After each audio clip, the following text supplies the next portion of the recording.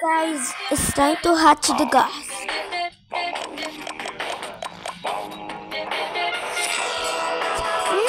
Nice!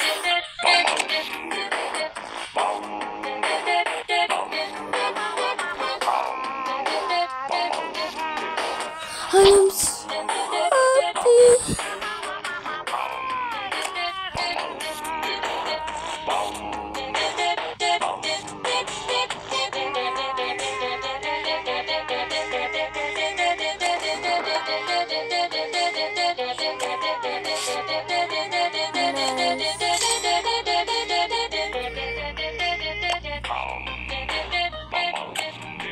I can hear him.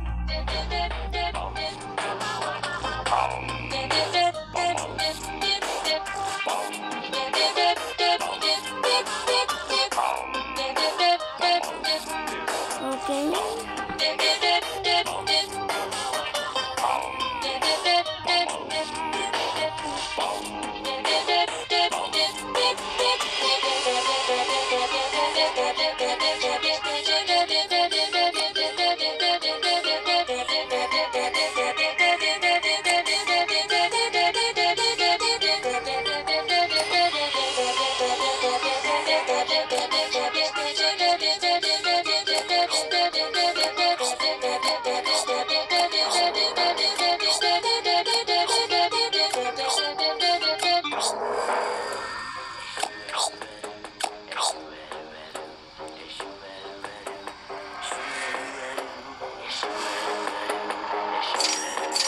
Nice!